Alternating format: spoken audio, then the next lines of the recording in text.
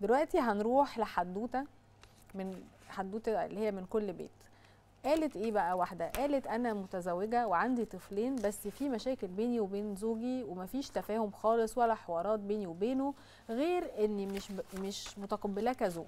وده مأثر جدا على نفسيتي وعلى حياتي. أنا آسفة. ومخليني عصبية دايما. حاولت كتير جدا أتفاهم معاه وأتكلم بالراحة ودخلت ناس برضو مفيش تغيير وحاليا أنا عايزة أنفصل. بس كل الناس بتقول لي اصبري طالما خلفتي يبقى خلاص بصي لعيالك وبص وبس اصبري. أنا بقى محتارة مش عارفة أعمل إيه. اتفضلي حضرتك. ليكي ليكي الميكروفون يا. فندم. يعني إيه اتجوزتوا في إيه والحياة والحب راح فين وما بتحبيهوش؟ مش عارفة. يعني اتخطبوا فترة طويلة أو جواز صالونات وبعدين حست إنها ما بتحبوش. طب ليه؟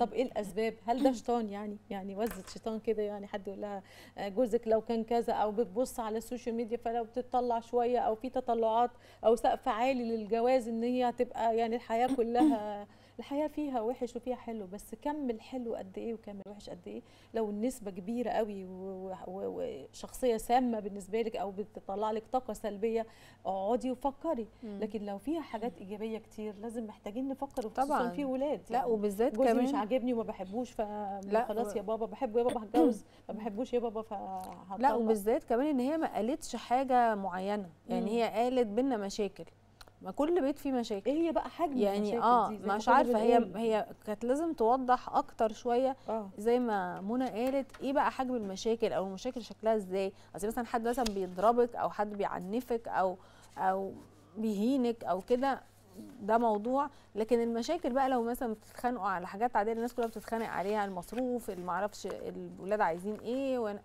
الحاجات دي. تقول ما فيش تفاهم ولا حوارات. برضو نحاول نفتح يا جماعة موضوع الحوار ده. الـ silent ده خطر. طبعا. آه انت كرجل لو حسيت ان مراتك متضايقة من حاجة وما بتتكلمش اوعى يطمنك السكوت ده ان هي راضية أو ان هي هتعديها. ففي ستات ما بتعديهاش على فكرة بتفضل مخزون مخزون بالسالب مخزون لحد ما بيبقاش في رصيد عندها خالص مش عايزة تكمل.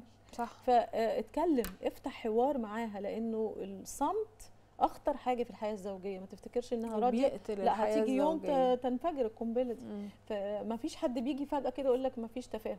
لا ده هو بيبقى في موقف وهو مثلا آه، سد نفسها في إنها تتكلم. طب بعدين؟ طب مش عارفة إيه، مش لاقية فرصة مش مش. لا مش مديها فرصة تعبر عن نفسها. وقولي أنا بحب كذا مش آه، تلفي وتدوري وأنا لو كنت عملت كذا ولا لو قالوا لي ما فيش كده. ولا تدخلي رأي حد في الموضوع. أنا كنت أحب إنك تعملني كذا. كنت أحب أشوف منك كذا. عبري عن نفسك. وأنت اديها فرصة تعبر عن نفسها. يا جماعة ده في ولاد. تقول في. طفلين. يعني الموضوع يستاهل بصراحة لا وحسب فعلا نتكلم. حجم حسب فعلا حجم المشكلة. أو حسب حجم شكل شكل العلاقة عاملة إزاي.